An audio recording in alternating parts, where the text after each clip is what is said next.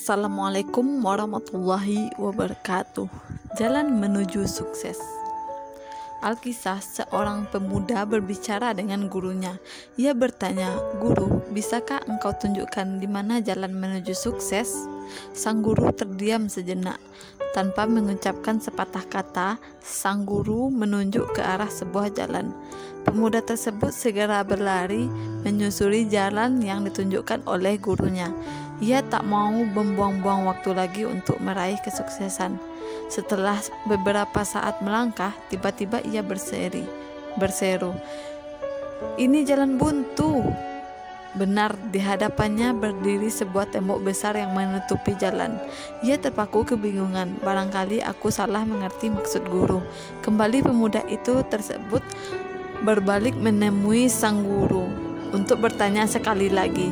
Guru, yang manakah jalan menuju sukses? Sang guru tetap menunjuk ke arah yang sama. Pemuda itu kembali berjalan ke arah itu lagi. Namun yang ditemuinya tetap sama. Sebuah tembok yang menutupi. Ia berpikir, ini pasti hanya gurauan. Dia pun kemudian merasa dipermainkan. Emosi dan dengan penuh amarah ia menemui sang guru.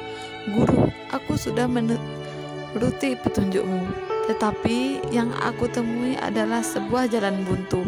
Aku tanyakan sekali lagi padamu, yang manakah jalan menuju sukses? Kau jangan hanya menunjukkan jari saja, bicaralah. Sang guru akhirnya berbicara. Di situlah jalan menuju sukses, hanya beberapa langkah saja di balik tembok itu. Siapa bilang tembok adalah tujuan akhir?